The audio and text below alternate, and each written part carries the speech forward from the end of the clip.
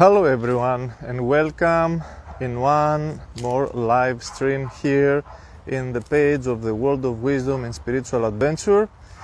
Today, we are talking about the powerful habit of mindful focus. I will explain to you what it is, and it is a habit that we should all build in our house because this habit of the mindful focus in our everyday life gives us great power. It will empower us to be able to achieve what we want. But it is not so simple to understand exactly what it is and to do it properly.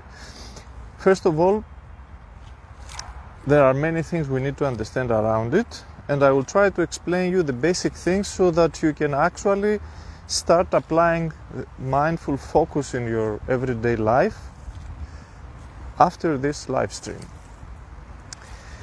Before we delve into the topic, I would like to ask you to share this video with your friends. Share some love with us by clicking the like button if you believe that you received some value from these videos. And I would like to know from where you are watching these videos. If you are watching this video from a replay, please uh, write from where you are watching and interact with us. You can also ask your questions if you have some question in the comments below because in this way knowledge can be promoted it can, and can evolve. So, Greetings to the ones who are watching now live and to the ones who will enter and the ones who will see it after. First of all, let's start. Hello, London. Hello, Maria from London. So, what is uh, mindful focus? What is this word? Okay, first of all, I want to tell you that mindful focus is not concentration. The first thing we need to understand is the difference between concentration and mindful focus. Of course, these are words. Concentration, we understand what it means. But the word focus and concentration has a similar meaning, so we can be confused. But the, it is not the same. Concentration usually is concentration of the mind. Okay, which is one energy that it is part of our being, our, our mental energy, and many times our mental energy is dispersed. Okay, actually, the reason why we cannot concentrate our mind is because we don't know how to bring concentration into the next level, which is the mindful focus. So, mindful focus is an upgrade, the next level of concentration, and it is key, necessary. Otherwise, concentration uh, arrives to tiredness if it cannot become mindful focus. Concentration we develop when we are children in the school, when we have to study for hours to read the text. Concentration can be developed uh, a, through a spiritual practice when, for example, we focus on some symbols. We focus on a picture People practice concentration by reading difficult books and practicing their mind, or do some very subtle jobs with their hands that they need to focus their eyes, for example, and their attention to something. For example, somebody who is a doctor and wants to make a surgery, he needs to be very focused, you know, when he's doing something which is delicate and subtle. If you would like to fix your watch, you need to be very focused. You cannot be absent minded. Okay, so we understand what is the concentration of the mind, and it is important, it is very important. But it is not the key for a successful life. It is one ingredient, but it's not the key. So, what is then mindful focus? Mindful focus is not concentration of the mind, is presence it is being concentrated or focused, not mentally, but with all your being and your mind included, in the here and now, as it is called spiritually.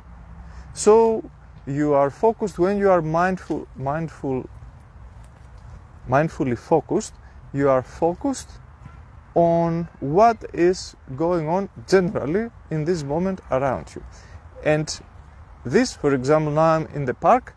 If i am present meaning alert aware present of anything that is happening around me then i am mindfully focused in the here and now. Of course if here and now in this moment I'm doing something, like for example this video, I have to be mindful, like aware, meaning in a way focused, but not only mentally, with all my energy, with my awareness, I need to be focused on how I hold the camera, how I talk, some things to function function properly, what I want to say, how I walk and so on.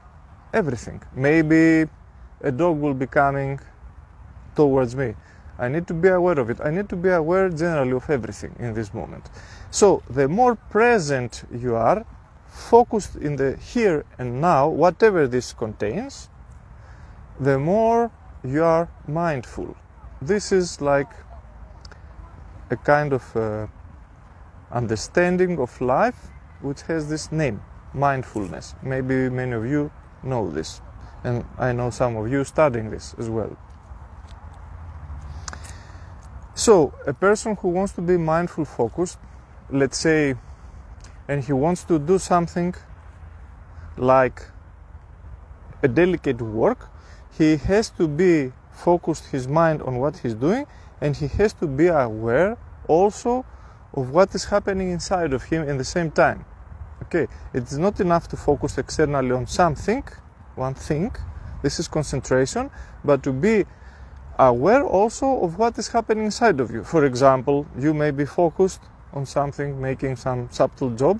In the same time, you are thinking maybe you have problems, and your mind is also worrying about what happened in your with your family, and you have to catch this because this may interfere with what you are doing. If you catch what you are doing and what is happening inside of you in the same time, then you start becoming present, mindful. Okay, so you are concentrated in the present moment and not only in one thing externally. Okay, focus usually it is when you are concentrated on one specific point. Mindful mindful focus is when you are focused on everything okay you are it mean, means it, you are aware so the first thing you need to understand if you want to practice mindfulness is that you have to include as many points of concentration as possible so it's not that you are focusing all your attention in one thing but you are focusing your attention in multiple things of course, if something you are doing, for example, you need to be more focused on this. If if I'm riding a, a motorbike, I have, of course, I shouldn't be focused in all individual things around me because then I may have an accident. I may miss that there is a hole in front of me. So I have to be focused, of course, more in how I feel my bike, how, what is happening in front of me, but in the same time to be aware of all the environment. So it means again I'm more present in general. So my attention is more present. Which brings us to the second point that I want to make. Generally, one big benefit of this habit to be mindfully focused in your everyday life is that you will be able to solve the majority of your problems in life because the majority of the problems we have in life, like maybe 70 or 80 percent of these problems are because of the way we think. It is out of our perception of these problems or situations.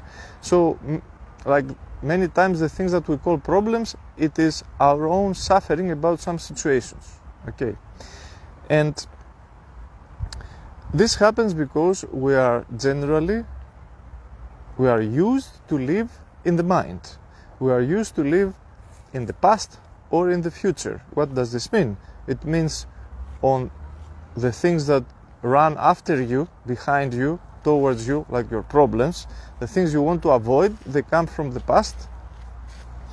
And the future is the things that you would like to have, like your desires. Okay, so a person who lives in the mind, thinking constantly about his problems, how to avoid them, and his desires, how to get what he wants, and he's dwelling in this space, he's constantly thinking about all these things, is an enemy of the present moment.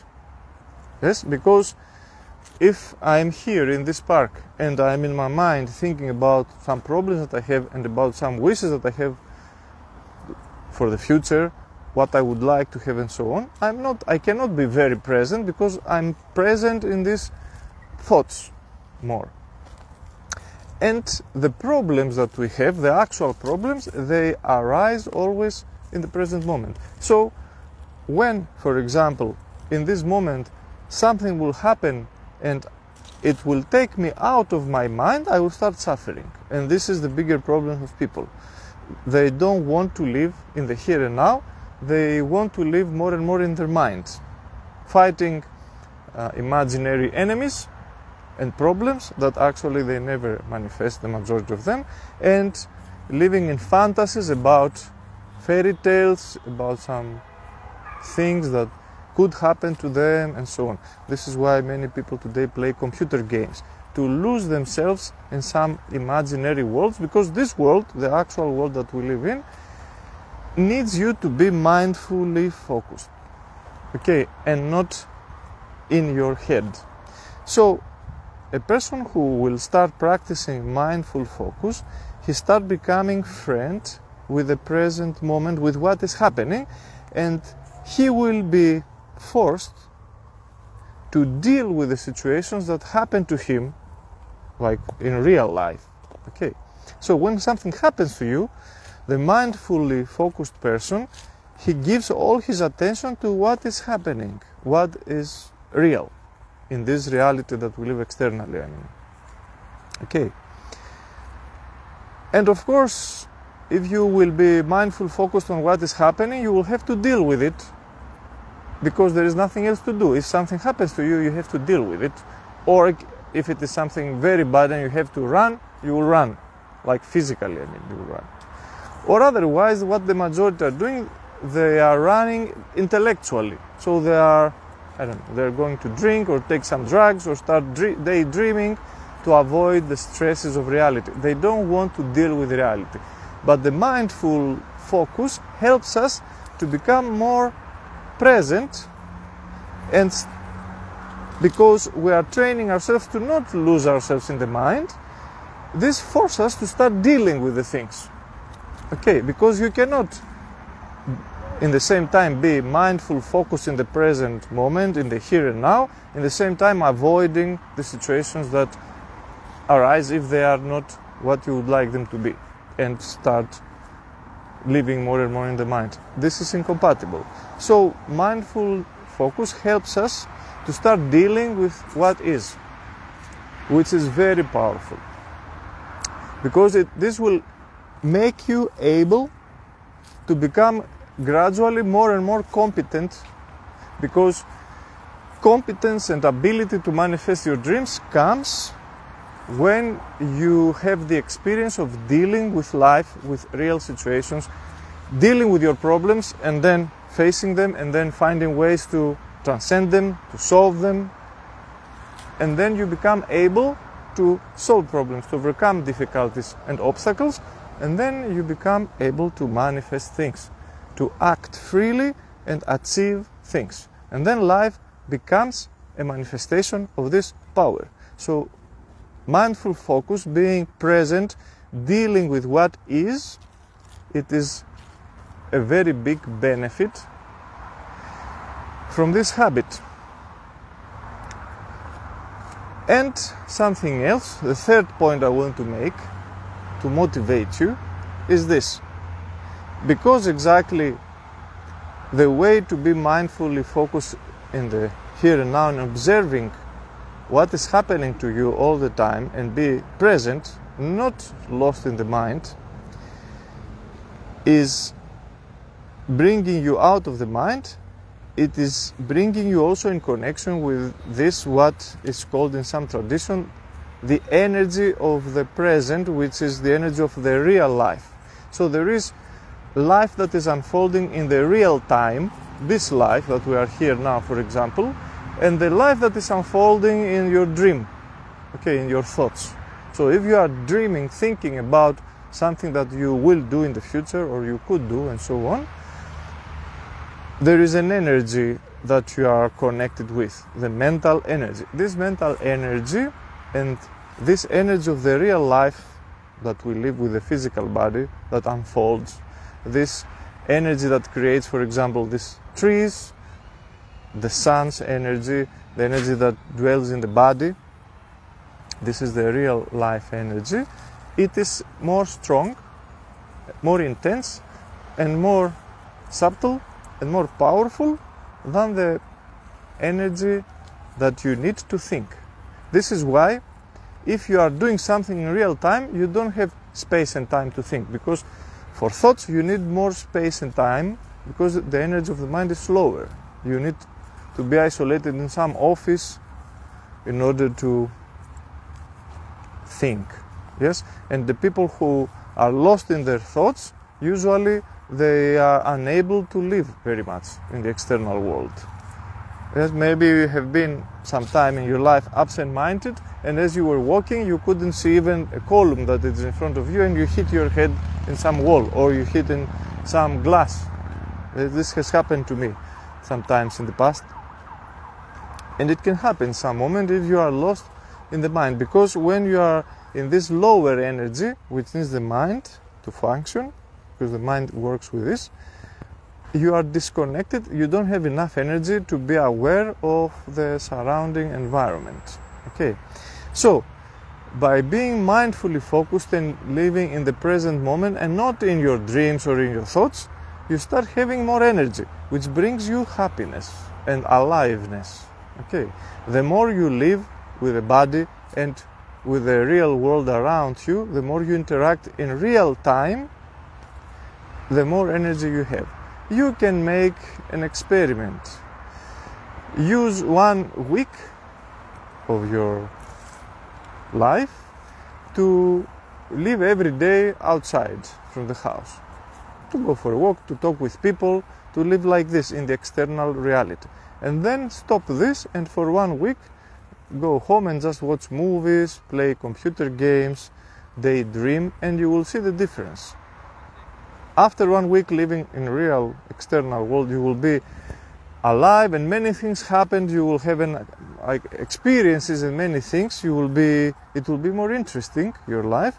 And living one week with your tv or your computer you will be exhausted you will be depressed you will be low your energy will be low and you will feel like uh, miserable you will feel that you don't live actually you will feel loneliness and all this. The feeling of loneliness that many people uh, experience in the modern world is because of this kind of isolation. People live more and more in their mind and less and less in reality. Of course, some people now will think, wait a minute, Alexander.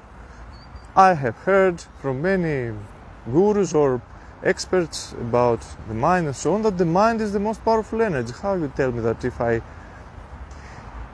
of course, the mind has a very powerful energy, but this is not the average mind that we live when we are unconsciously thinking or when we are just focused mentally on something.